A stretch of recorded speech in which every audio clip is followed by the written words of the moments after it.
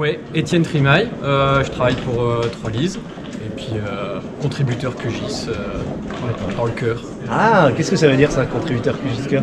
Eh ben, je suis pas corps committeur, mais je fais quand même pas mal de petites contributions à droite à gauche, voilà, sur QGIS quand je peux.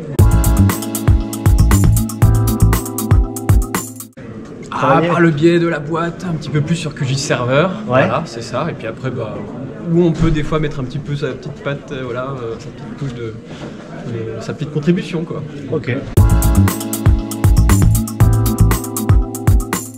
Eh ben écoute, après euh, plusieurs années en distanciel, c'est vraiment bien de se retrouver en physique, de pouvoir boire des bières, parce que hein, c'est ça, les, les géo-beers euh, en, visio, en visio, c'est quand même pas ouf, donc euh, voilà, c'est quand même vachement mieux.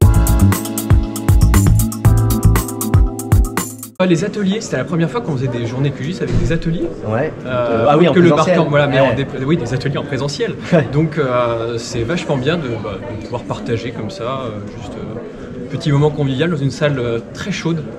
ah oui, c'est vrai. Ok, bah trop bien. Merci Voilà, de rien. et bonne conf. Merci.